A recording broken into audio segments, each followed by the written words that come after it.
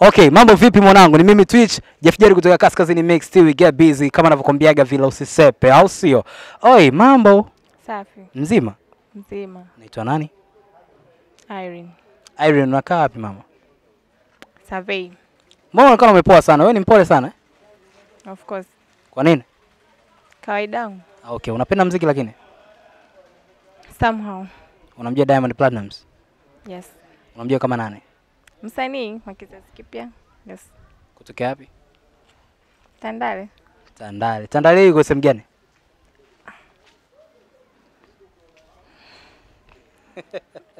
Sijui nisemeje. Okay, sawa basi. Siku ya jana bwana Diamond Platnumz kama unavyojua si ana TV yake inaitwa Wasafi TV.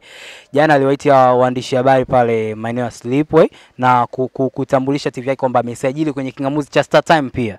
Wewe kama unavyomjua Diamond ni msanii mkubwa wa kizazi kipya, una ushauri gani kwake au una maoni gani kwake ku- kuhusu kuendesha hii TV yake ambayo ameifungua Wasafi TV?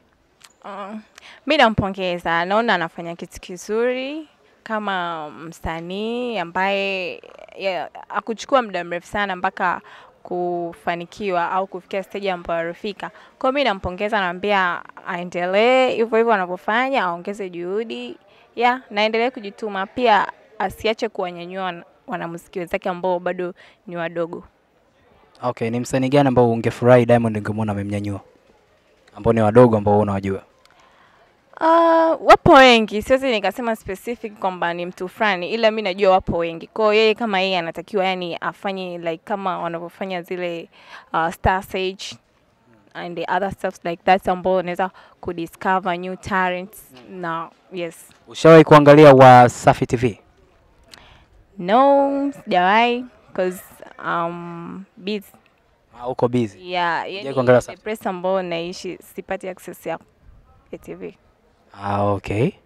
Okay, sawa. Ulisema unaitwa nani? Irene. Irene nani? Sambad. Okay, anaitwa Irene Sambad. Na hayo alikuwa maoni yake kuhusiana na Diamond jana alivyoisajili Wasafi TV kwenye kingamuzi cha Star Time. Ni mimi Twi Jeff Jerry kutoka Kaskazini Mix. See we get busy.